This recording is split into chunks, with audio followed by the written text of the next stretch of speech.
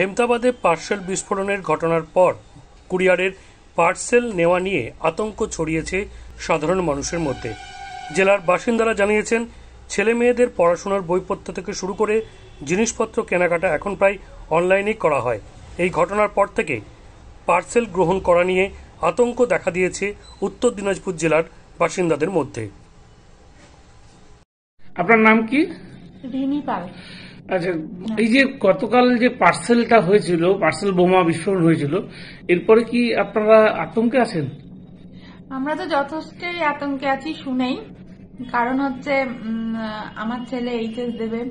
তো আরও সমস্ত পরীক্ষাগুলোর জন্য আমাদের রায়গঞ্জে সব বই পাওয়া যায় না। আমাদেরকে অনলাইনে বেশিরভাগ বুক করতে হয়। তো সেগুলো আমাদের তো বাড়িতে মানে হরদমি পার্সেল আসতেই থাকে। কিন্তু এখন তো এটা একটা বড় ভয়ের কারণ হয়ে গেল যে পার্সেলে বা আমরা অন্যান্য জিনিসও অনলাইন থেকে প্রচুর অর্ডার করি। তো সেগুলো তো এখন একটা ভয়ের কারণ হয়ে গেল যে পার্সেল আসলে পরে একটা চিন্তা হবে, একটা আতঙ্ক হবে যে পার্সেলটা খুলবো কিনা বা কি করব আর কি এইটা নিয়ে? তো এই ঘটনা নিয়ে মানে পুলিশ প্রশাসনের কি আরও একটু সজাগ হওয়া উচিত কি মনে করেন? হ্যাঁ অবশ্যই সজাগ হওয়া উচিত আর যারা পার্সেল মানে যে সমস্ত ডেলিভারি বয়রা গুলো কাজ করছে তাদের একটা আইডেন্টিফিকেশন কিছু পুলিশের কাছে থাকা উচিত যাতে এই ধরনের সমস্যাগুলো না হয়। আপনার নাম? আমার নাম কিশোরী রাজবংশী।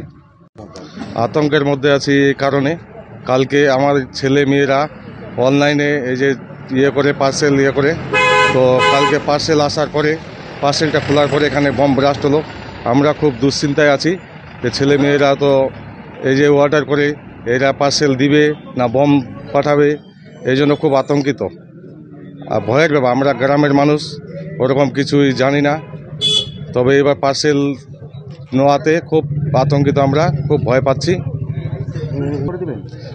না তো করারই কথা, কারণ ভয়ের ব্যাপার। এবার পার্সেল যে পাঠাবে, ওরা এরা যে চাইবে, কি যে পাঠাবে, ওর মধ্যে কি যে থাকবে, না থাকবে, এটা একটা ভয়ের ব্যাপার।